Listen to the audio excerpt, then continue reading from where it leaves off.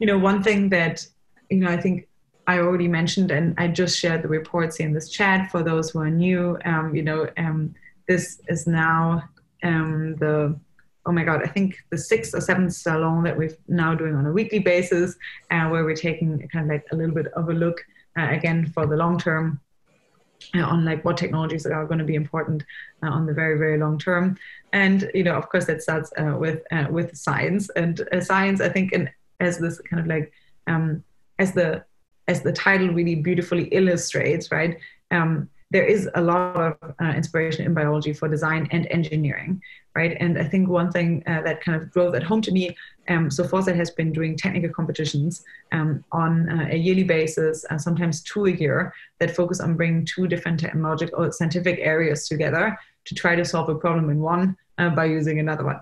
And uh, we had Michael Lerch, he was on this call. He was joining um, the technical competition of two years ago, uh, which was uh, on molecular machines. Um, and we kind of like took a really, really broad approach on, okay, how can we actually push uh, the envelope and what is possible in the design um, of molecular machines. And we had Fraser Stoddart, um, who co-chaired uh, that event, and he actually uh, got the um, got awarded um, uh, in a group uh, the Nobel Prize for his work um, on molecular machines just a few years earlier than that. So it was a really, really fantastical technical competition. Um, and many, many of the talks actually at that competition uh, directly credited um, uh, credited nature and the and the way that uh, that nature is doing its magic uh, as kind of like a main uh, source for the way that they get their inspirations in uh, the designs that that they come up with. And then now again, it kind of um, that point was made even clearer to me because I just finished the second uh, report of the second iteration of the competition, which was in 2019. And I just shared that report uh, in the group chat. So that's fresh off the bat. It is not even available online yet. Um, I, we, we literally just finished it last week, but I thought I would share it with people here because it may be quite interesting to inform our discussion later um, when we talk a little bit about okay, what are specific um, areas in which we can take uh, uh um, inspiration uh, from nature.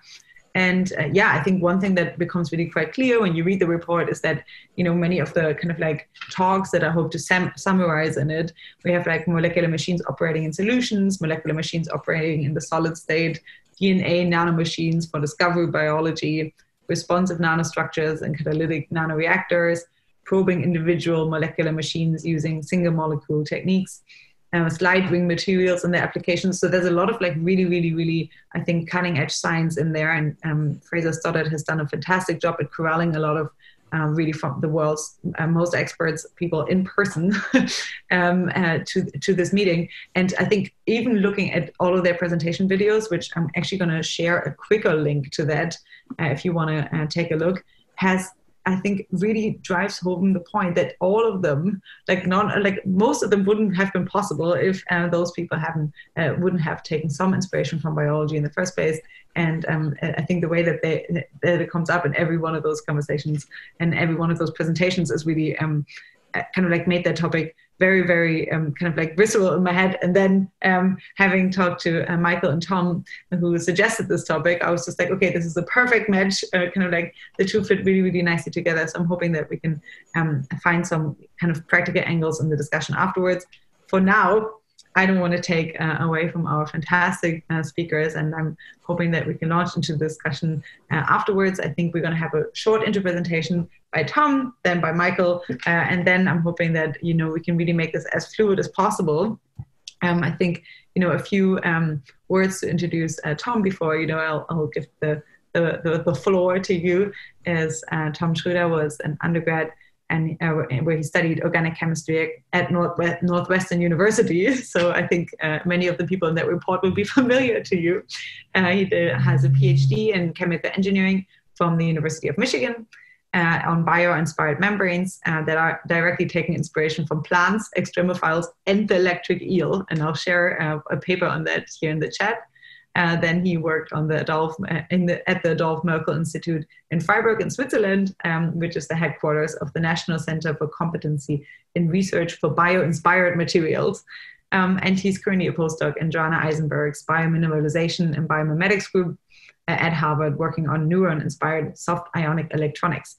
And I think two, um, you know, presentations that I'm going to share here uh, in the chat was uh, two recent research uh, kind of efforts on his end are uh, directly an electric eel-inspired soft power structure from stacked hydrogels. So I'll share that a link to that, and then uh, the really, really, uh, I think, um, catchy title. It's not a bug; it's a feature. Functional materials and insects. So I'm going to share both of the both of the um, the, uh, the, both of the research links here in the chat. But for now, I'm really, really happy that, you, that you're able to join us, and I, I can't wait for the presentation.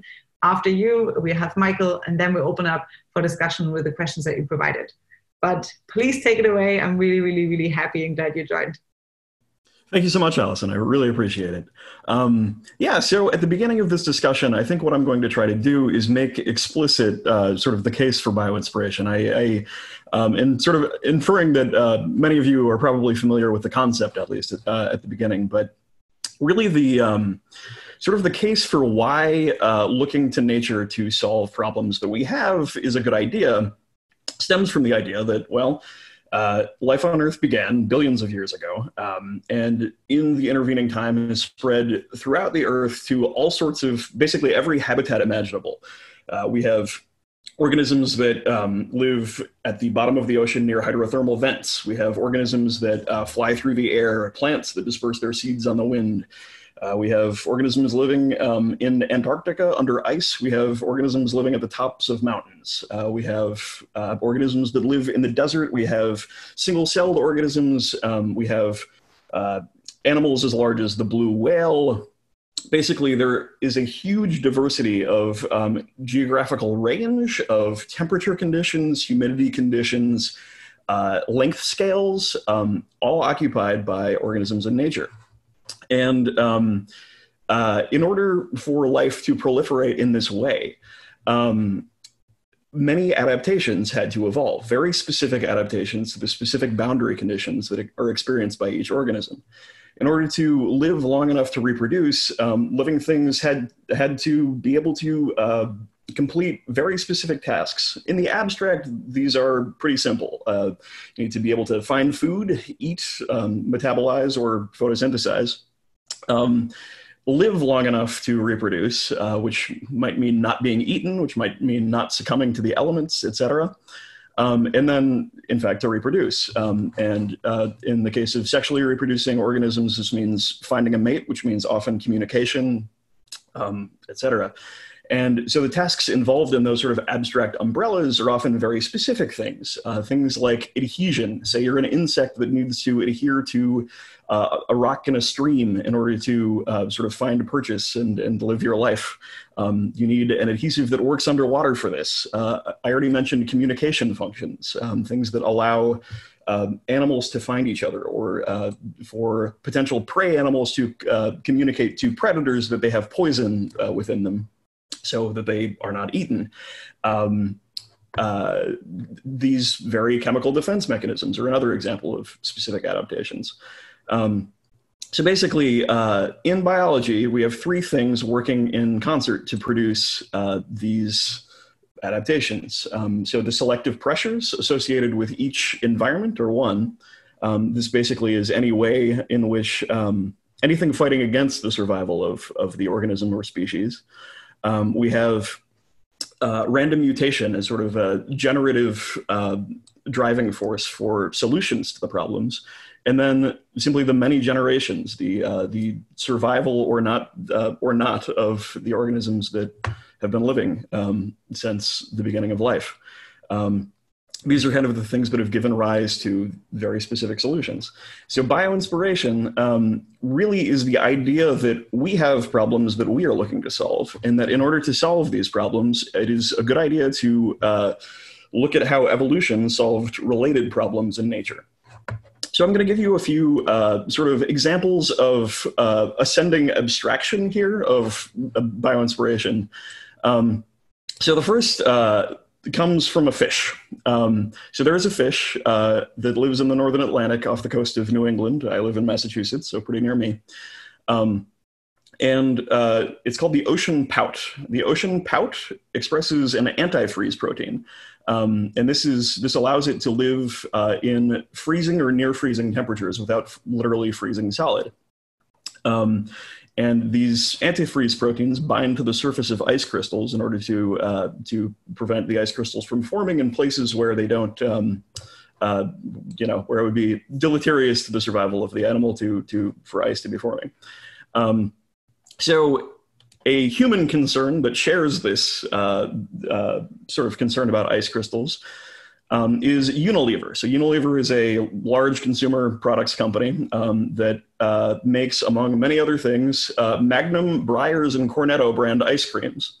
Um, and so under these brands, Unilever was formulating low-fat ice creams, uh, but they kept have the pro- having the problem of ice crystals forming, which kind of disrupted the creamy texture of the low-fat ice cream formulations.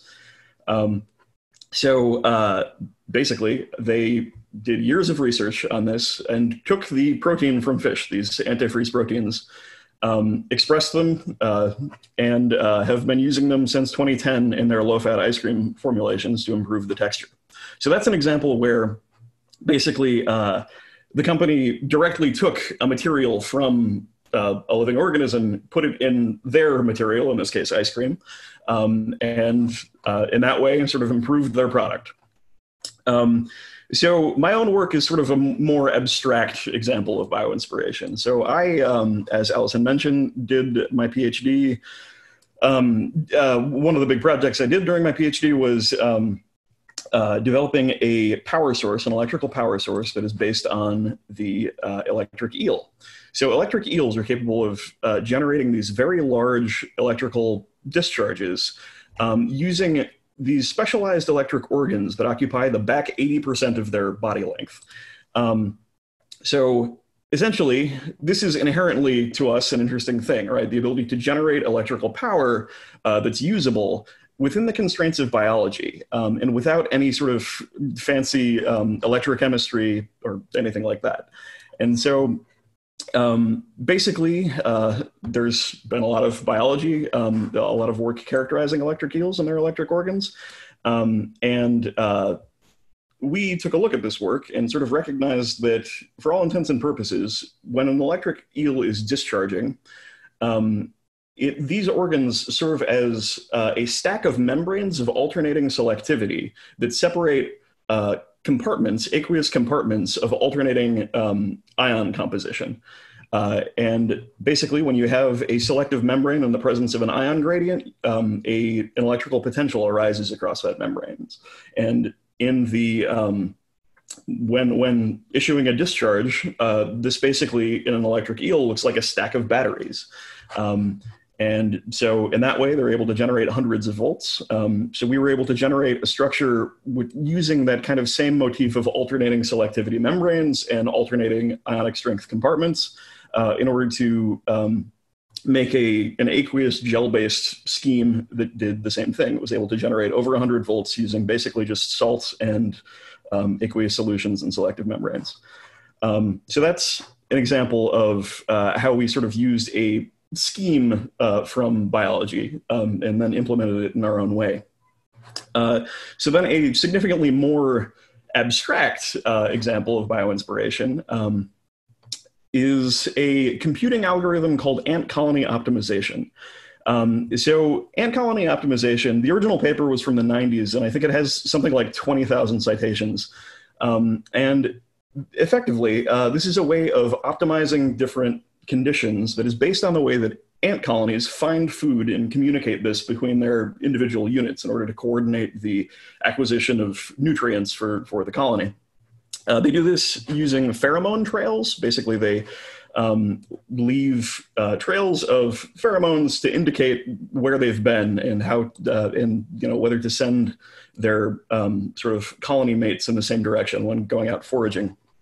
And um, this type of scheme, sort of dividing your computing power into artificial subunits um, that then are able to sort of produce uh, weighted responses to um, to inputs from an environment, turns out to be quite useful for solving certain types of problems that are called NP hard problems um, in computing, uh, which basically uh, these are problems where finding an exact best solution would take a very long time. Um, so the, the, time required to uh, calculate a, the, the uh, best solution, be sure that you've obtained it uh, is exponential with the com- complexity of the problem. Uh, and these problems in contemporary life tend to be routing problems. Uh, and they manifest in things like telecommunications and in supply chains. Um, so, ant colony optimization, and actual ant colonies for that matter, um, are very good at generating high quality solutions that might not necessarily be the best solution, but are at least acceptably good um, within a short amount of time. Uh, and so, yeah, this is this is something that's used contemporarily in, in telecoms. Um, so uh, at this point, basically, you might be asking yourself, okay, how how can I be inspired by biology uh, in my day to day life? Um, so my, I guess, recommendations for this uh, are reading biology literature. Um, so, in particularly, the Journal of Experimental Biology is a particular favorite of mine. They, um, this is a place where uh, biologists and, and other researchers will um, literally, you know, subject um, biological systems, organisms, et cetera, to a range of uh, of um, conditions uh, and basically see how they work. See, test the ways in which the solutions that they've evolved to different uh, problems uh, are, you know, the ways in which they evolve, the ways in which they're effective, et cetera. Um, so it's really important to keep in mind that it is the labor of biologists, people who have taken the time to characterize and find um, the sort of vast diversity of adaptations in biology that makes being inspired by biology possible uh, for researchers like me and maybe you. Um, this is also another reason, uh, although not the main reason, but just a reason why um, contemporary biodiversity loss is a sort of tragic phenomenon. Um, basically, the uh, you know if we if we lose kind of this natural heritage before we have a chance to really um, kind of see what's going on and and uh, become inspired by it, uh, that that is a large loss to uh, the efforts of engineers and technologists. Um, so uh, that is my piece, I think, of this uh, introduction, and I think I'll pass things along to to Michael. Um, so, Allison, if you want to introduce him, that would be great. Yes.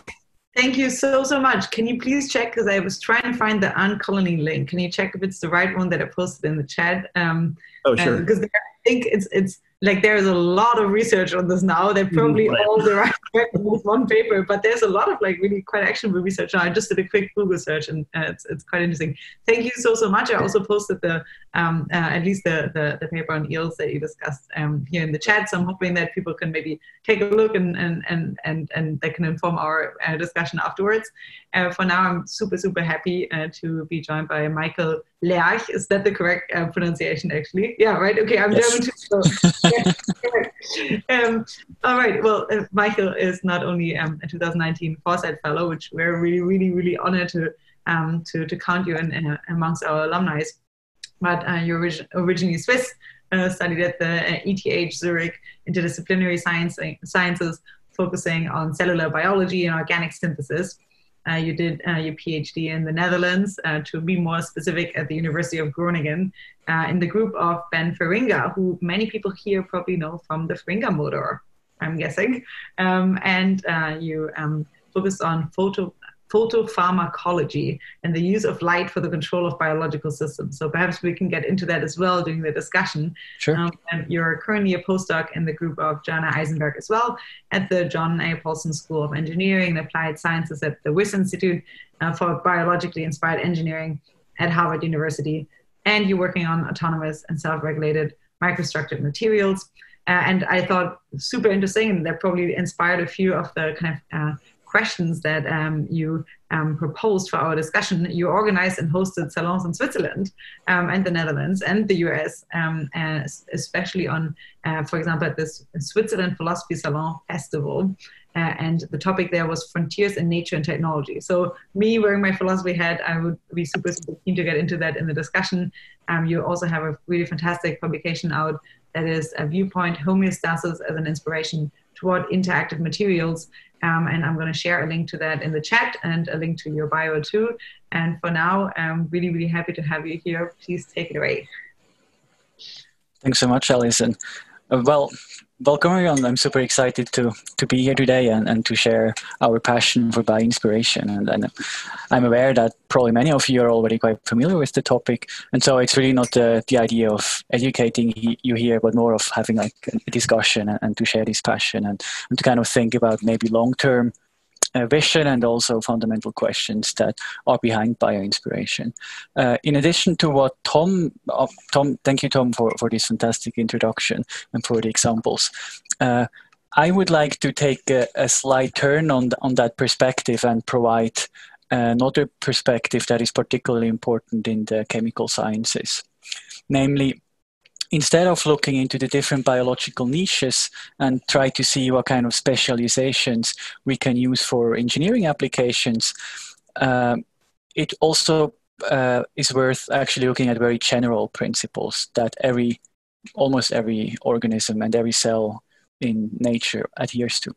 And a few fundamental, like two fundamental uh, principles that I would like to point out here are first of all homeostasis, so the ability of an organism to regulate its internal physiological conditions uh, by means of uh, feedback, but also by means of actually sensing what is going out on outside. And the second one is actually to be able, with perhaps the same type of stimulus, to give very different type of responses depending on the context. So having this diversity of functions and responses in almost an interactive way. And when we design materials as scientists or as engineers, we have the same problem as animals have. Materials have to be robust, materials have to survive in a changing environment. And so understanding the boundary conditions that nature operates in and then see what kind of solutions on the most fundamental level cells have come up with can be very fruitful in order to create a new type of materials that are to be considered smart and that are possibly of the next generation. This indeed actually is a, hot topic at the moment, or uh, already since 15 to 10 to 15 years. Namely, this this concept of smart materials, where you take chemistry and you take the interaction between different molecules and interface that at different levels of complexity in order to get responsiveness, adaptation, and homeostasis, homeostasis and self-regulation in functional materials. Uh, applications are obvious. Think about sustainable housing, right, where you have uh, materials that uh, could respond to irradiation from the sun, so they could like filter out certain types of irradiation, uh, materials that respond to humidity or to heat, or even could detect some toxic compounds from the outside and then switch on a catalyst that destroys these toxic compounds and, and cleans the air and purifies the air. And if we look at uh, in order to get inspiration for this type of, of behaviors and this type of complexity, uh, the fundamental challenge we face really is at the, and I'm a chemist, I'm, I'm a synthetic chemist by training, is to understand and be able to make molecules, combine these molecules into more complex systems, and then make these complex systems do stuff. There's a myriad of challenges that you face when you try to do this. Uh, just giving a few examples. Uh, first of all, if you have like if you have different type of molecules interacting with each other, you have to make sure that your function only happens where you need it and doesn't happen everywhere else. So you have to be able to take reactions, confine them to a certain time, to a certain place. Uh, you have to think about how do you separate functions, how do you make specialized functions within uh, within a chemical system, how do you control these functions, right? How do you, for example, get complex phenomena just as uh, oscillations, right? What we see in nature with circadian rhythms.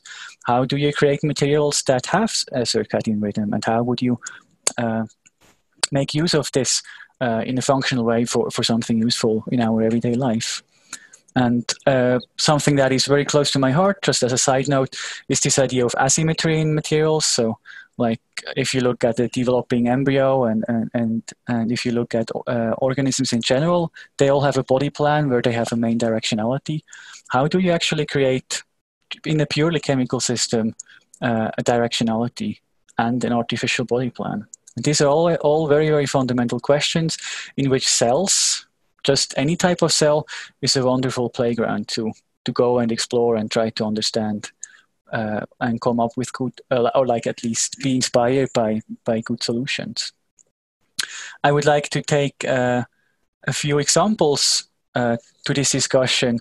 The obvious one is just because of my background as a, as a, a synthetic chemist and my PhD in, in the group of Ben Feringa, namely the idea of molecular motors. Right in cells, molecular motors such as dyneins, kinesins, or even ATP, ATP synthase they're absolutely fundamental to the workings of a cell. They're also very important to establish directionality and to transport stuff. And uh, so it has not been surprising that people actually have come up with methods to make uh, synthetic motors. And if you haven't already done so, definitely take a look at the report that Allison shared uh, and see what is currently going on. Just one mention to, or kind of one shout out to what we actually kind of try to do with molecular machines is really this concept or the big change when you go from a macroscopy scale where you can rely on it for uh, inertia and on like rigid materials where you can, for example, just build a, a normal mechanical machine. Uh, and then going down to the molecular scale where you have actually inherently flexible molecules and you can't rely on your inertia anymore, but you actually have to fight constant viscous forces. Like so, and there's a lot of Brownian motion going on, and so there's a quite completely different set of conditions that you have to deal with that you have to take into account when you design such molecular machines and molecular molecules. And there is no way to find out or like to learn about how to create a nanomotor uh, from a from a steam train like from a steam steam machine. Yeah, you rather have a look at actually what is done in nature and try to understand then how you can build one yourself. Another very important topic at the moment in chemistry, and some of you might be familiar with the idea, is out of equilibrium chemical systems. If you look at the fundamental principle of life, it is that it's out of equilibrium, out of thermal, uh, uh, thermodynamic equilibrium. Uh, if you look, for example, into Erwin Schrödinger's book, What is Life, from the 1940s, he explicitly mentions that the idea that in order to survive, any organism has to take up fuel, he has to has to process that fuel by a metabolism and use that energy uh, in uh, use that energy to do certain functions. And in chemistry and also in material science, most of the systems that we use are working at uh, thermodynamic equilibrium. And it's very difficult to actually come up with uh, systems that work out of thermodynamic equilibrium and that in this way kind of mimic these lifelike functions. Most recently, uh, last maybe one or two years, there's this idea of uh, Pavlovian uh, materials, a very cool name, where uh, people are trying to teach material stuff. So basically incorporate uh, chemical mechanisms in a material that then allows a material to learn by combining different stimuli in a certain order and to then trigger certain pre-trained responses. And the last, and I think possibly most fundamental part is this idea of self-assembly, controlled self-assembly. If you look at a cell, uh, we have a myriad of different components. How do you make sure that all these components end up at the right place? Mastering such a question immediately has applications in nanofabrication, but also in self-organization of, of materials, and also in how potentially we make new materials, right? Whether we could grow them or whether we fabricate them uh, in a traditional way. Uh, before I conclude, it has also not escaped our notice, and I'm sure yours also not, that uh, nature hasn't only inspired scientists, but of course also generations of artists and architects. And there's myriad, myriads of examples I could give, uh, just a few to mention. People don't know it yet, check out the book by Ernst Haeckel from 1904 called Art Forms in Nature, or in German uh, Kunstformen der Natur, that is now part of the public domain. Uh, Antoni Gaudi uh, from Barcelona with La Sagrada Familia comes into mind, or more recently, uh, Dutch designers such as Joris Laarman with the Bone Chair, or uh, Daan Roosegaarde uh, with projects such as Glowing Nature, Lotus Dome, or Intimacy. I'd be happy to talk a bit more about these projects as well in the discussion. Also, with the advent of molecular biology in the 20th and 21st century, just think of the capabilities you now have with gene editing. Uh, these powerful tools and also the fascination of what we can do, or possibly also the danger what one could do with bad intention, uh, naturally causes or or triggers a response from from the humanities and also from from artists.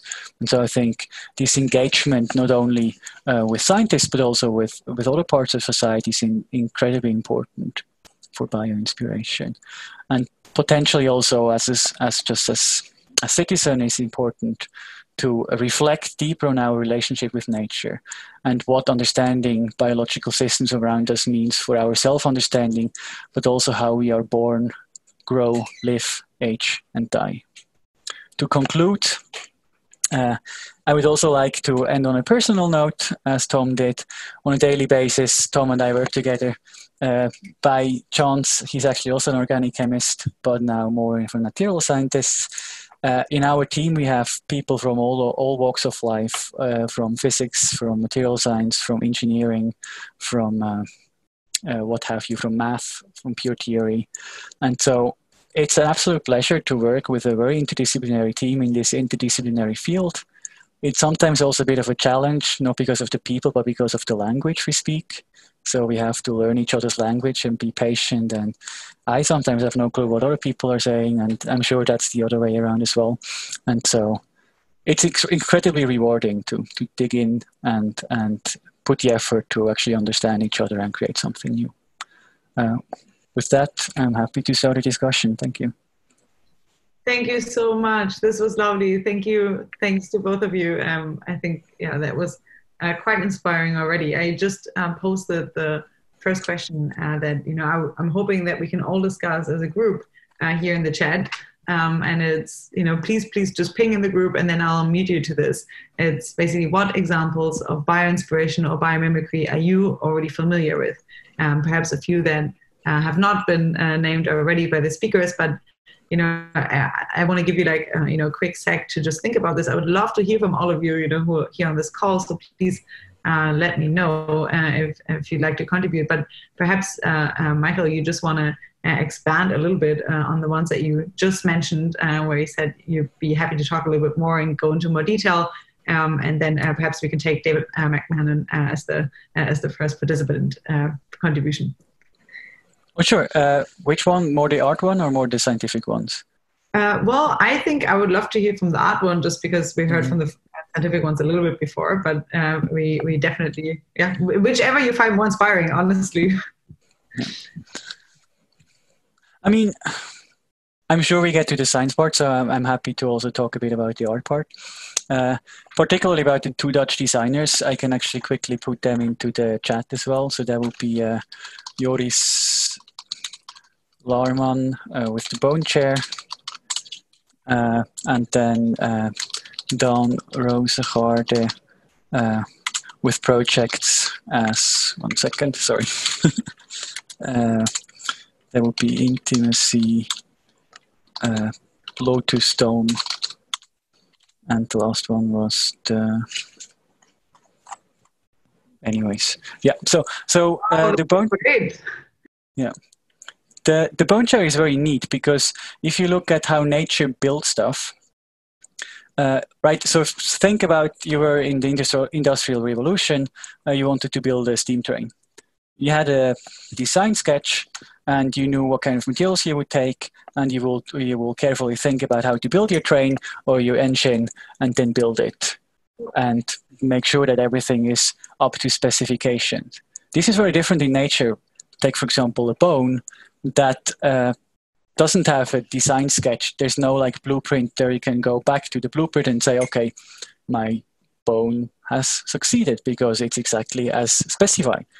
But uh, actually, what happens obviously, the only tool that nature has is namely to build up from from single cells, and so it's more of kind of an iterative program that is saved in the DNA, and that allows it then to build it up over time, which means you have more flexibility. And so what bones do, both at the large scale, but also at the smaller scales, is to enforce uh, their structures where there is a lot of load and to take away material where there is little load. And so basically what uh, Joris Laarman has done uh, in this chair project is do the same. They had a, had a uh, I think it was a collaboration with Opel, where they had a pro computer program that, depending on the load, uh, they could actually take away material where it wasn't needed and actually build or reinforce the material where it was needed. And in this way, uh, they built the chair. And actually now they have, I think, certain other type of furnitures that are built on the same type of, of principle. Lovely. Yeah, this is great. I think uh, I'm already seeing a few uh, other contributions popping in in the chat. I also checked out the other ones and they look totally fantastical. So I encourage all of you to uh, just type them in on Google really quickly to get uh, to get an understanding. Those things are definitely better seen. But um, you know, David um, McMahon, I'm hoping that you don't mind me unmuting you if you want to share the one that you just um, posted in the chat. That would be amazing. Can you hear me? Yes. Great. Uh, yeah, I, I did want to share um, uh, my screen um, so I could talk about these images a little bit. Um, I, I haven't translated them to a, a product or a material, but uh, I did want to show people um, that they're available, and uh, and I can uh, can say that they're certainly inspiring for me. You know, regarding this bone chair, for example, uh, I started working on, on on bugs, and um, are you able to see my screen now? No, I need to make you a co-host, uh, which I'm doing as we speak. So now you should be able to. So uh, uh, these are some images that we made uh, using a, a CT scanning technique. Can you guys see his screen? No. Are you able to see those? No. Uh, I think you may need to share a different screen. Not yet. Sorry. If anyone else wants to share something and actually show it to us, then yes, now it works. Then get ah, Great. Okay. So all of these are CT scans. They're micro CT scans uh, uh, done with the uh, Zeiss's Xradia um, um, uh, CT scanner. It's a micro CT scanner. So basically, they're translating the X-ray data to a, vis- a visible wavelength, and then they can magnify them anyway, when I uh, first started doing this, you know, looking at bugs, uh, I'm a, a, civil engineer, and I was fascinated by by the, the these little structures. Uh, you know, as a civil engineer at a, a joint, for example, the the main problem is shear strength, and so you want density. And then out in the middle of uh, uh, a a length like this, uh, it's making space for the muscle, but also it's maximizing its uh, moment of inertia. And so uh, I think it's very cool. Uh, as I look at these bugs, I um, see all sorts of things, and I, I just uh, hope other people are as inspired by these images. They're difficult to, these things are difficult to see with a microscope and uh, say somebody who's a, a, bug expert would be able to see them and map them out. But one of the uh, the nice features of using this method is that you can show the entire thing in in focus at once, and uh, you can also dissect them. So in this case, we've removed most of the muscle tissue that would be obscuring all these different structures.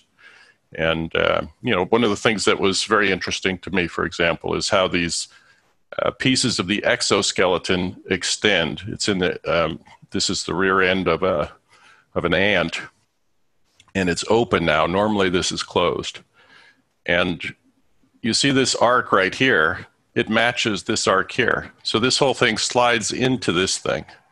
I was fascinated by that. Uh, it's a wonderful solution to being able to open something and extend it and manipulate it. Uh, so uh, I, I, hope these are inspiring to people. This they, is fantastic. We are, yes. This is wonderful. Yeah. Um, uh, something to, to add on in terms of, uh, you know, if, if people are interested in looking at very close up pictures of insects, um, the uh, so it's true that if you go back through the literature about um, insect morphology, uh, you do begin in like the 70s and 80s as electron microscopy sort of began to be widely available in university settings. Sort of an explosion of of um, sort of structural biology papers on on um, uh, not only insects but really any living thing. Uh, that kind of was a, a, a really interesting thing to do at the time because no one had looked that closely at uh, the microstructures of um, you know different uh, living organisms before. Um, and so, in particular, I'd like to recommend the Journal of Morphology, um, which has been around for a while uh, for uh, images of that type. That's uh, where you'll find a lot of really good sort of ultrastructure um, imagery. And this is this is fantastic, though. This is uh, um, looks particularly, I don't know, high resolution and uh, everything's in focus at once. This is great. Yeah, I mean, so that's the that's the magic of having it as a you know as 3D data rather than an image that's collected at a particular focal length. Uh, we can then use a virtual camera and adjust the focal length to whatever our model is. This is the, by the way, is the the the sexual organ. This was a male ant, and we were working with uh, Zeiss and the California Academy of Sciences, uh, Dr. Fisher there. And he was interested in using these structures to classify the ants. So that's why we have this isolation of this. Basically, this big triangular thing here, that's, that's an ant penis. Normally, it's, it's, act, it's folded up inside this thing called a volsella. And so this is kind of 180, it's, it's opened up right now and this end is acting like a cam against the exoskeleton. And then this uh, up here is the testes. Anyway, it was uh, amazing to me because I knew nothing about ants. As soon as I saw these images, and I think I've, I've had this experience showing many other people, if you can show them something, if they can visualize it, they get very excited about, you know, uh, doing something with it. Suddenly the ideas start popping and stuff. So. Um, I have an interesting question, if that's okay here. Uh, as a as a civil engineer, as a structural engineer, like I think the structure is fantastic, but like, wouldn't you also need to be looking at how it moves? You know, like how the legs, for example, extend, and how do you deal with that? Or is it enough to just look at the at the form and then deduce uh, yeah, I, th- I, think that's fascinating. All, all, of that stuff is fascinating to me. It's uh, yeah. it's it's far outside of my field. Uh, okay. you, know, for me to be able to identify these parts, you know, it's like I, I the process was I saw something interesting. We uh, we, we pointed out to Dr. Fisher, and he says, "Oh yeah, we know all about that."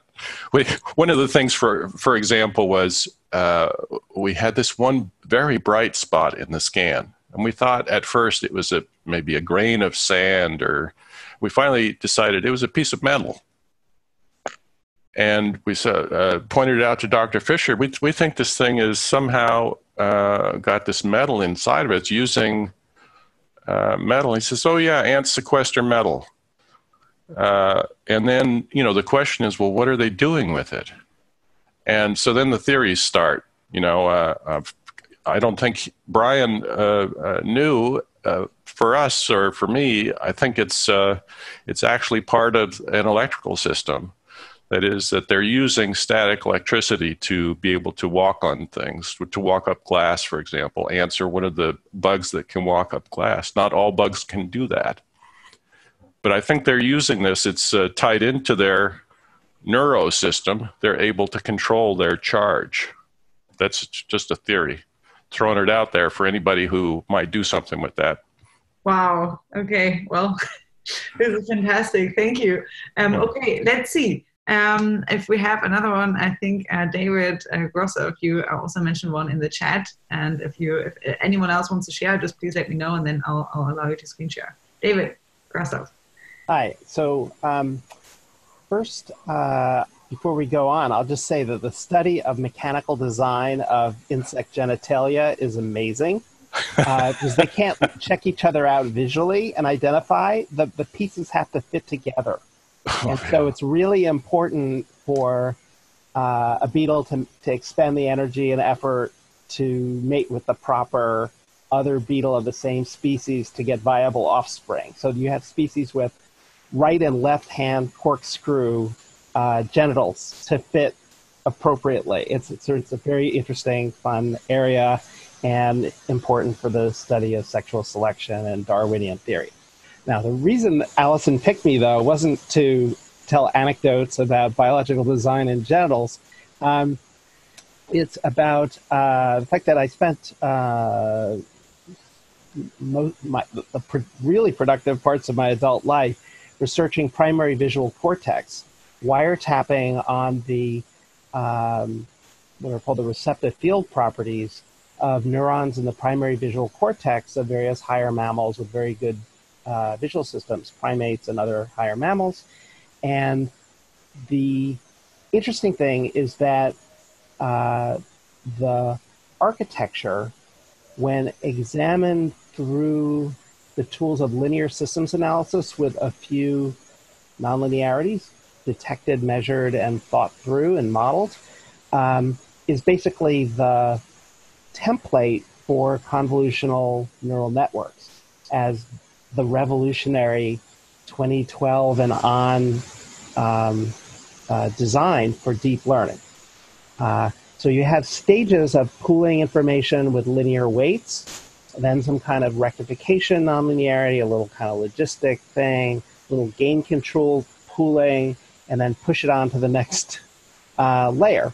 Um, and obviously, how you do the linear weights is very important. But that that's how the visual system looks in a lot of mammals. Uh, many synapses in. So within the retina, into the sort of so-called relay nucleus of the lateral geniculate, and then in the most bizarre, specialized, and enormously different piece of neocortex that is the primary visual cortex in mammals has a special name because it has so many extra cells that it looks different. Um, but even in non-primates, that same design is the template for, uh, and I could go on and on about how cool this area is because it brings all this information from the two eyes. It's actually about 50% of all the input to the central nervous system of the human is from the two eyes, the 2.2 million retinal ganglion. So I could go on and on about how incredibly important vision is and be a vision chauvinist. But the point is that um, really due to DARPA funding in the 70s, it started to attract really, really, really smart people, plus me.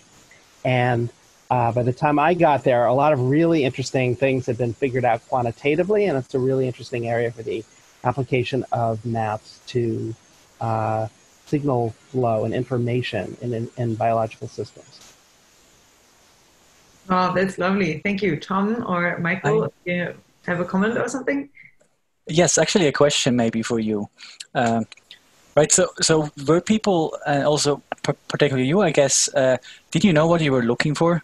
Like, so there's so there's this quote um, from a Dutch guy that said, like, if bone is the solution, what is the problem? Right. Uh, so, so I mean, oh, I, I, studying I, biology sorry. Yeah. So, so, so we have two eyes, and they change the separation while you're growing.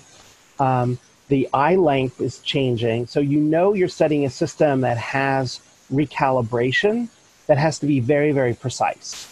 The eye movements themselves are incredibly precise. So you have these problems, and then you have the visually guided behavior sets a number of constraints and problems. And again, here I could go on and on. But one issue is just raw sensitivity. Uh, in the late 40s, it was established that under suitably dark adapted conditions, presenting the stimulus just so, there is evidence for quantal detection. So when you have a high fidelity system of a trained subject that can actually detect a single quantum absorption in a rod in the eye and have all that information preserved until you get to a finger press of a button, that's just crazy. Okay, that's so you know you're studying something very precise. My own work was about studying the integration of motion information. How do you extract um, uh, the direction of motion of edges? And once you do, if you have motion transparency, multiple at the same depth plane, multiple edges moving in different directions, what do you do with that? Okay, sometimes if it's, uh, let's see, yeah, if it's a checkerboard, this finger appears locally to be going that way, this finger seems to be going that way. If you're moving up, how do you integrate that into a single pattern motion? Or sometimes you just get motions sliding over each other. And that's very important for animals that fish are looking through the surface of water um, uh, and where depth isn't really a very useful cue all by itself. You have to sort out different motion flows and how many can you sort out. So we, we knew what we were looking for because we had behavioral constraints to uh, think through receptive field properties. And there was also some analysis of computational sufficiency um, and issues like aliasing, which is too confusing and technical for, for me to go through without diagrams. But for those engineers who've dealt with aliasing, aliasing is a very serious problem in the processing of information at multiple scales. And it had already been established in my laboratory, my doctoral lab, that um, one octave bands of spatial frequency were very important. Thank you so much. That's fantastic. I'm uh, encouraging everyone here to share uh, additional examples and David, and maybe a few links as well, uh, if you don't mind. That would be fantastical. Um, I think we have, um, you know, in the interest of time, because the questions that uh, were submitted by uh, by Michael and Tom are just really extraordinary. So um, let's let's try to see whether we can cover perhaps like a few more just off the cuff. And also, if you guys have questions uh, to Michael and Tom about their talks, then please preface them with a Q in the chat, and either we tackle them in the chat or, or, or I'll mute you to ask to ask them here. But you know, one of the questions that I really popped out to me is just because of writing this report lately um, was the question how should we approach the dichotomy between using nature as inspiration, but at the same time also using man made engineering to change biological systems, like synthetic biology and environmental engineering and so on? And perhaps uh, Michael or Tom, you would like to kick us off with, a, with, an, uh, with an answer. And if anyone else would like to contribute, just say so in the chat and I'll meet you.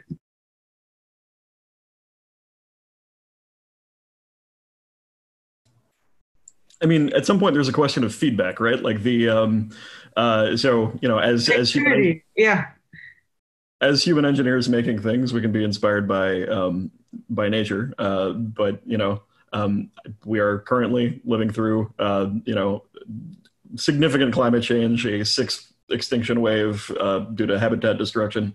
Um, so you know, it, it is becoming clear that our our actions do impact the uh, the biological world as well. Um, so uh, I think um, I think the question is not necessarily a, um, a so there's a question of uh, knock-on effects of what we do already, and there's a question of how we sort of should remediate them. Um, and I think sort of uh, quote unquote listening to uh, what nature is doing is is sort of paramount. But um, if others want to sort of comment on this, uh, now's the time. Michael, do you want to have an answer? Well, so I, don't have a straight answer to that, but I'm just also curious to hear what other people think, right? Like, I think so. What what I also found interesting about this question is more this, like, thinking about the underlying kind of perceptions about what we, what kind of relationship we have with nature, and maybe that drifts up too far. But but I think it's just interesting, like does it actually make sense with our limited capability of human engineering, to put it a bit starkly, to actually go back into nature and start messing around? Or do we have to do that in order to better understand nature? Uh, so this, this, this kind of questions I find very interesting. Yeah, what's your uh, immediate perception of that? Because it's not like we haven't been doing that all along, right? Well, I mean, as a scientist, I daily poke at nature, right, and see what comes back.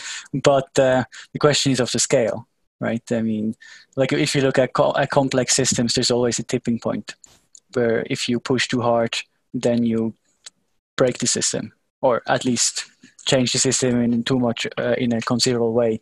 That then changes the further trajectory of it. And so I think uh, if we start talking about biotechnology, there's always this question of tipping points, right? And, and of things potentially getting, getting out of hand. So that's something to be cognizant. But in the way, I think poking and doing stuff is the best way of learning, at least in my opinion. And uh, do you think um, you know that bio inspiration may sometimes be a limiting factor to our creativity too? Like, do you like do you ever worry about that in a way, or or to the contrary, have, do you have examples of systems that actually we came up with where we have actually now kind of taken what biology has done via evolution over a long time, and we've just kind of sped it up and uh, done it much better, much quicker? You know, is there kind of like a flip side to this as well?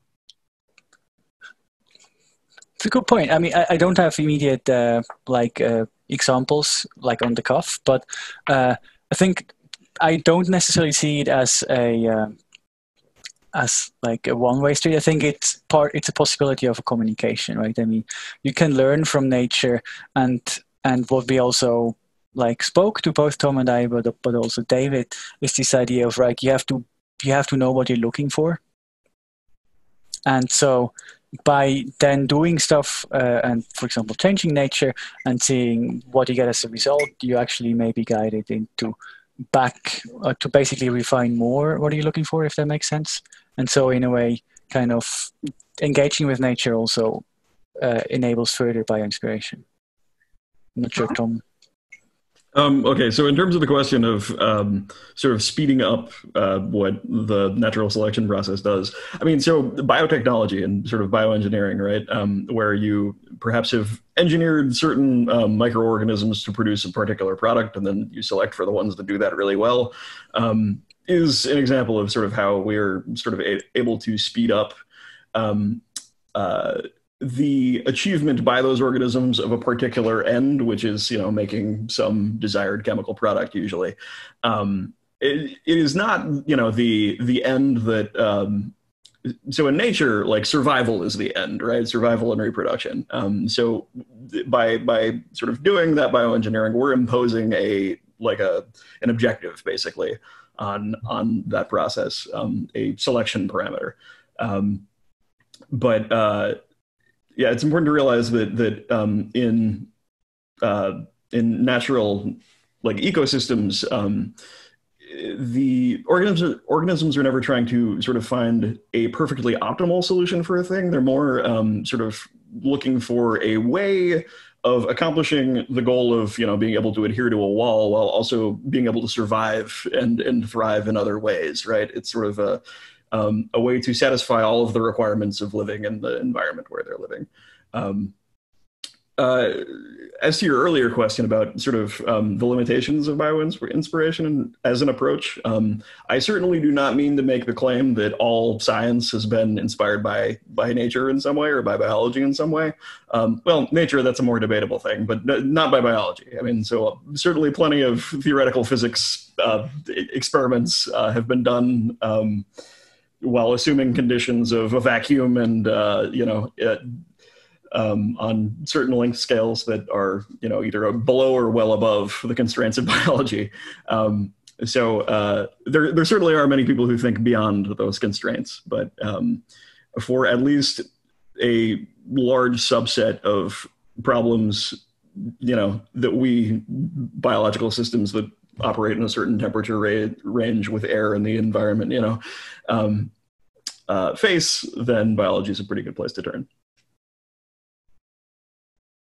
Thank you so much. Yes, it just reminded me a lot on um, maybe some people here in the chat have read that when Slate Codex was still online, but uh, the studies on Slack, uh, they're just really quite fantastic. And I think they uh, recently did like a kind of like we uh, kind of like um, put put that out again from the archives. I'm, I'm, i found a link here. I'm hoping that you can uh, make it through to the actual post, uh, which is basically on kind of like that idea of Slack and, and evolution. That you know sometimes um, you know that you you have it's not like the most straightforward way uh, to a thing, um, right? To, to, to get a result, but it's kind of like meandering around. And uh, through Slack, though, um, uh, you have kind of like those systems that are uh, inc- incredibly kind of like resilient. And unless you kind of like kill off the whole population, there is a way in which uh, you know kind of like nature can always go back. Like I was, and without wanting to get too much into the kind of philosoph- philosophy nitty gritty, but like you know, I think in economic theory, uh, you have this kind of concept of reflexivity a little bit, by which um, you know it's not only that you know our kind of like preferences uh, kind of like you know shape uh, you know uh, shape the market but then then again you know like the market also shapes our preferences and i think you kind of like see that uh, a lot in, in the way that like algorithms are kind of like uh, predicting um, uh, are, are, trying to kind of like make our make our actions a little bit more simpler to be able to better predict it. So I was wondering, um, you know, whether that at all applies. I think to kind of like the work that you do in a way where you know we often talk about positive uh, feedback loops and, and inspiration and, and how we can learn from nature but do you think that there's something going on by which you know we're creating uh, feedback loops that uh, may actually kind of like halt or limit our creativity somewhat or get a little bit uh, you know kind of like um, uh, get kind of too simple or or yeah, are in some kind of negative feedback loop. I don't know. I'm just throwing that, that question out there. Maybe it doesn't make any sense at all. I mean, intuit- intuitively, I agree. I think that is that is definitely a problem, right? And I think that's exactly what uh, one has to do when one studies these these biological systems. Also, uh, once in a while, take a step back and uh, and, and really uh, reflect on what do I actually want to achieve. Uh, what what what what kind of boundary condition is the organism operating in? How do these boundary conditions actually align with my project uh, boundary conditions. And I think that's certainly something that one has to be cognizant of. Yeah. I mean, as a as a working scientist, I guess like um, what what you're describing sounds to me like how I feel sometimes when I'm a little too settled in a routine, right? And then like I I don't know, go on vacation, take a trip, kind of shake myself out of it a little bit, and then um, am able to see some new things, uh, or maybe talk to a collaborator who I haven't you know heard from in a while, see what they're working on. Um, and you know they'll get me thinking in a way I wasn't previously. Um, I'd like to echo what Miki said earlier about um, collaboration and interdis- interdisciplinarity. Um, just getting regular exposure to new stuff is always great when when you're um, working on a hard problem, right? Like it, it, the more inputs that can give you ideas, the better. Um, in in many ways, I think also adding to what Tom said is the like so far at least i'm not aware of like bio inspiration is not often used for like detrimental effects you know like it like may like so for example biased al- algorithms are, can be a problem right? And and if they are based uh, on on for example a, a, neurological system i i don't know enough about that how that could like influence the bias but my my hunch would be that that these kind of biases and the problems are caused by the scientists and not by the by the natural solution that has inspired it. But that's just a hunch. Okay, awesome, lovely. Um, I think I mean we're now a little after the uh, the past. Uh, 1205 mark i think you know one question that uh, that really stuck out with me in case you know you're you're uh, interested to stay on longer and then we can maybe and move to uh, kind of participant comments more. But you know, one question I think that um, that that was from the list that I really really loved is you know the the question of like what do we actually need from our materials, right? Um, what do they need to be able to do, um, and how much uh, smartness uh, is useful in this? And um, I think you know one thing that um, th- another question that ties into this, uh, which I would love to get your guys' opinion on as well, is you know what are kind of like unsolved problems uh, in a given field. So, you know, if you're thinking about, you know, what what, what kind of materials do we need? Why do we need them? Uh, what kind of properties would be useful? Uh, and then why can't we push push the envelope further? And uh, could nature be kind of an inspiration there? Um, maybe uh, if you wanted to kind of like go ahead and uh, and say something like what what is an ideal material that you really really love to see? What's an ideal property that you could make up? Or in, even even if it's not just increase efficiency but what is what are perhaps some new properties that uh, you'd love materials to have? And then um, perhaps someone uh, can think about a way in which biology has already done that I can go first. I mean, something. I mean, there's there's myriads of problems. A very fundamental problem that I'm personally very interested in, and many others as well, is really this idea of can we actually generate artificial life, not uh, not in the idea of actually creating a life form.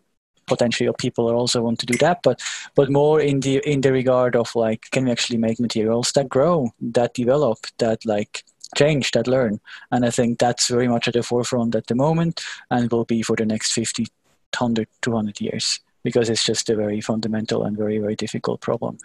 Uh, something that, that is also quite interesting, I think, and worth mentioning here is uh, sustainability, right?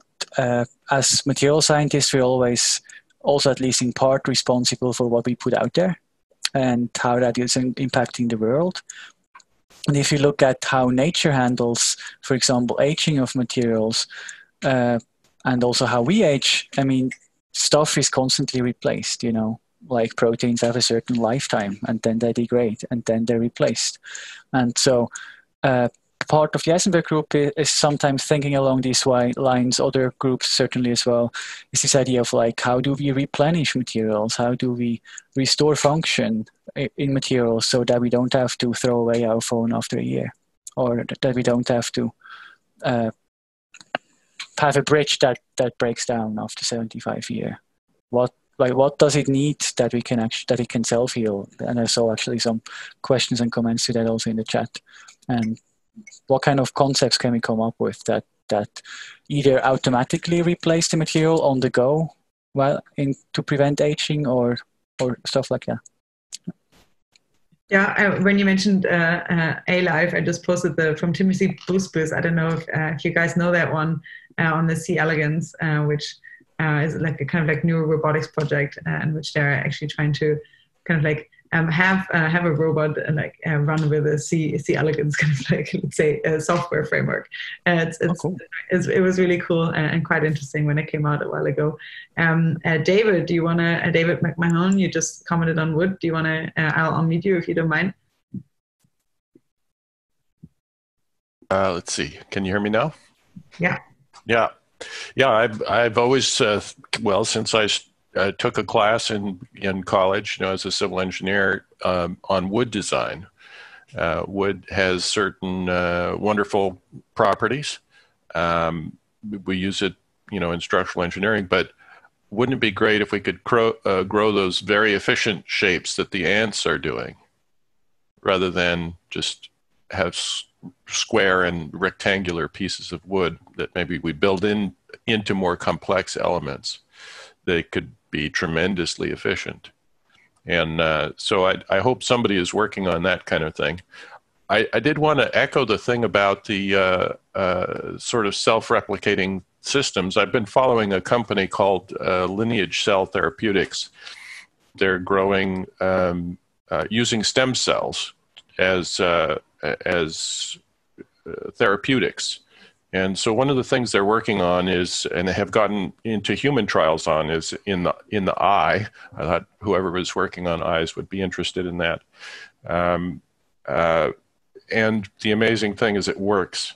You know, if you get the right cells into the right place, they just seem to know what to do. And uh, so I think that's part of it is understanding. I mean, right now they're they're basically, I don't think they really understand. They're just trying it out, see if it does work. It works. But I think it would be very interesting to figure out how does that work? How do those cells know how to get themselves into the right place and work with all the other cells that are around them? I think that's amazing. And so I hope somebody's working on that. What was the name of that company again? Sorry, I didn't catch that the first time. Lineage Cell Therapeutics. Thanks. LCTX is the the stock ticker. But uh, um, yeah, they've gotten pretty far in eyes and also on spinal cord injuries, uh, where they're uh, growing. I think it's the the sheath that grows around neurons. So if you've had a spinal cord injury, and they're they're finding that uh, these treatments actually work. You just have to get the right cells into the right place. And so I, I I, for a while, you know, with our work, I thought, oh, well, people would be interested in scanning things of interest. You know, say you wanted to grow a kidney. Well, we could scan a kidney, you know, as long as it fits in the machine or you have some mode of, of collecting the data, uh, we, we ought to be able to replicate them. But apparently, you don't need to work that hard. You just need to get the kidney cells and get them into the right place. And so, understand if you're trying to manipulate that so that you can control what grows, you've got to understand how those cells interact in some way. I, I, I would love to learn more about that if somebody knows something about that. Lovely. Please uh, contact him, uh, contact David in the chat in case you do. Uh, we have a question from Mark Stove to the panelists. And Mark, I'm unmuting you now. Okay, this is great. Thank you. Um, so I'm aware of more cases where uh, we discover things in nature after the fact. So the latest hot area leads to people discovering that, oh, yeah, there are some organisms out there that are already doing these things. So, in, for example, there are the silver ants that uh, live in the Sahara and can walk around in the in full sunlight uh, on the sand and be five degrees C cooler than uh, the the ground temperature because they're radiating. Uh, they they have a metamaterial set of hairs that are radiating uh, infrared light into the uh, atmospheric window. So this is great, and it, it mimics what people are now trying to do to to do radiative cooling uh, for buildings and lots of things. So, but I'm wondering how do how do you? The question to the panelists is, how can we be inspired by nature, go out and find things that we don't understand, and then use that to discover the physics, and just to sort of maybe try to reverse the the balance as I see it. Um, and I, so, for example, one of the things I would do is if we if people know Geordi LaForge character in Star Trek: The Next Generation, with the, his visors that that supposedly look at every uh, you know uh, wavelength, you could imagine something where you walk through rainforests, uh, probably at night, because there are more interesting things you could do, and you you look for some po- impossible combinations of polarization and and frequencies and uh, you know fast fluorescence and uh, basically try to find things that are out there in the forest that are they're doing things that have never been seen before, and then figure out how they're doing it. That's how I would do it because that's sort of closer to my my own research. But have you all thought of how you would look to nature for impossible things and then find how there are things out there that nature has discovered first and we can benefit from? The short answer to this is to fund biologists. Honestly, like uh, the great. I think we as a society are like pretty bad at recognizing the value of basic field biologists. Yes. Well, I mean, yeah, uh, field biologists. Field biologists. Right. Yeah. Um, and so, like, as as someone who is not in that field, reading those papers in a somewhat disciplined way um, is is kind of the closest that I can conveniently get in my life. But um, yeah, uh, you know, doing fairly regular literature searches for weird animals and plants and whatever, you know, um, is uh, a pretty good way of of getting exposure to things that I did not know were possible before.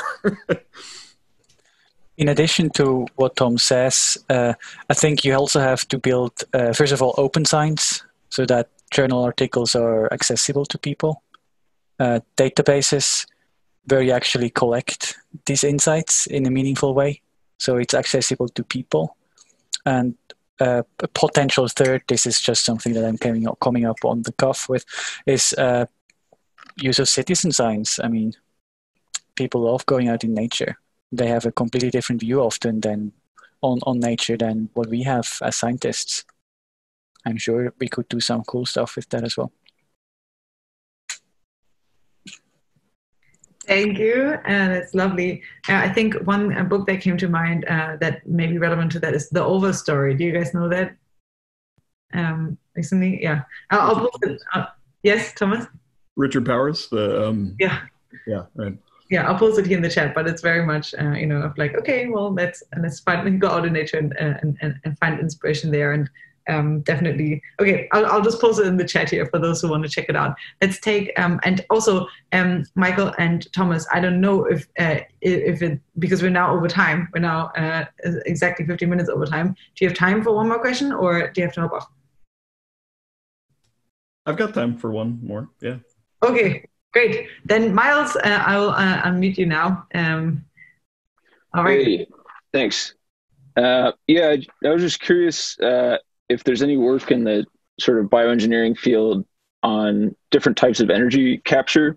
So, for example, you know, we've got technology that your basic solar panel that converts photons into electrons, um, and you've got slightly more sophisticated biological systems like the fungus down in Chernobyl that you know uses Compton scattering instead of the photoelectric effect. Uh, are there any other types like that? Uh, seems like our power system today still relies on just generating massive amounts of heat to spin some magnets. And it seems like biology should have some better insights for improvements. I was just curious if there's anything going on.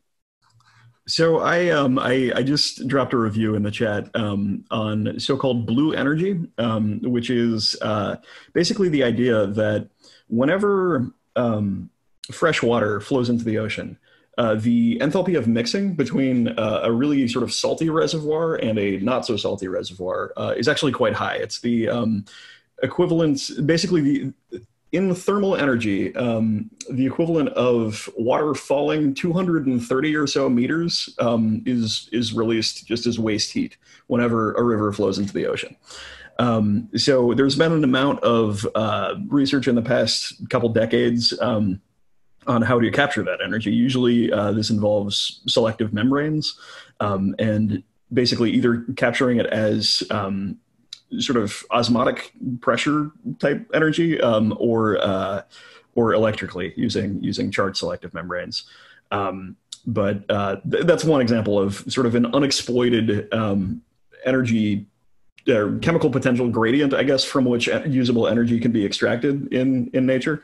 Um, and I mean, there are certainly others, right? Like uh, the um, the one that I the one that I posted has sort of bearing on my own on my own work, but you can imagine. Um, I mean, if you imagine that uh, between any sort of two compartments of differing um, chemical composition, so you have a concentration gradient, right?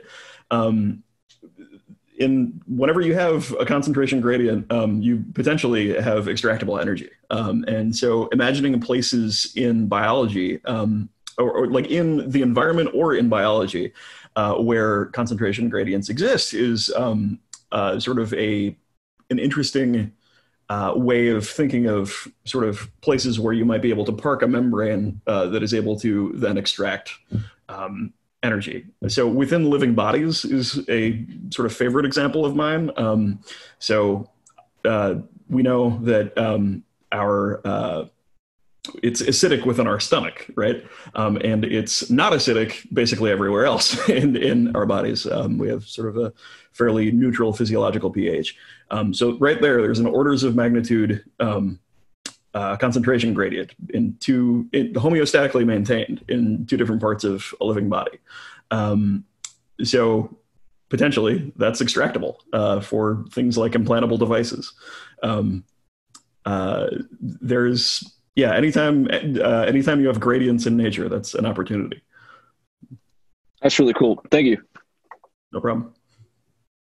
Lovely. Okay. Um, I don't know, Mike, if you have anything to add to that, but I would love for you to perhaps like uh, you know to uh, kind of close it out. Any um, as you know any final words if you have something that you really love participants uh, you know to follow up on after this if there's like you know um, a particularly inspiring example that you have and if not then uh, maybe you want to tackle the question of uh, the one that we had on bio inspiration and and art um, so basically uh, the question that you suggested is does bio inspiration lead to solutions in engineering that are inherently simple but elegant how does beauty fit into this why are organic shapes and biological design principles so appealing to artists and to us. And to me, the first thing that always comes to mind is the David Deutsch talk on why are flowers beautiful uh, for that. And I'll post it here and uh, maybe with a link. But uh, perhaps this is one way, uh, and we could we could end this unless you have something else uh, that you'd like to share with participants.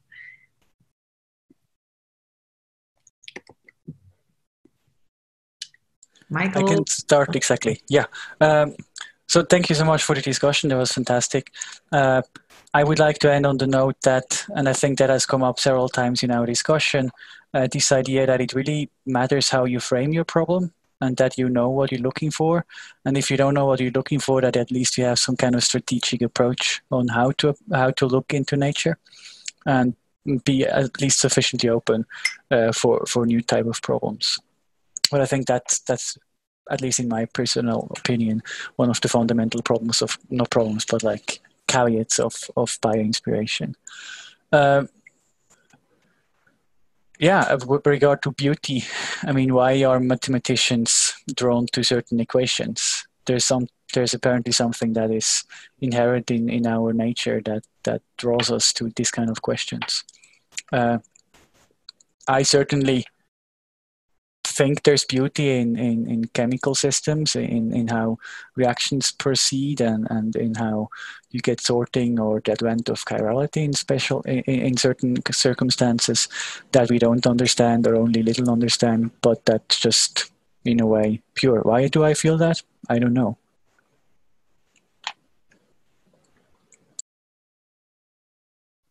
Tom, any additions?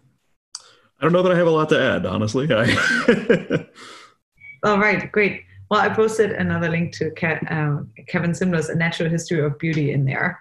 Uh, I really, really uh, like that a lot. Um, thank you so much um, for joining. I think we really covered a, a treasure trove of like starting on a quite scientific footing and then, you know, going all the way into, uh, you know, I think like to me, very inspirational um, questions. I think that, you know, really remind us uh, of kind of like the like what beauty it is to be alive and that we should kind of like wander around with our eyes a little bit more open even though we should first define the problem before we look at nature. Sometimes we can just enjoy it too. So thank you so much. I really like that that was fantastic. I, I'm, I really also thank everyone for sharing so so many links in the chat. Um, i'm hoping maybe i'll uh, i'll I'll be able to transfer a few of those in the follow up. And uh, Michael and Thomas, uh, thank you so much for making time for this. It was really, uh, really quite inspirational. And if you uh, if you uh, have any kind of like follow up links to share, then I would, could send them out in a follow up email to participants.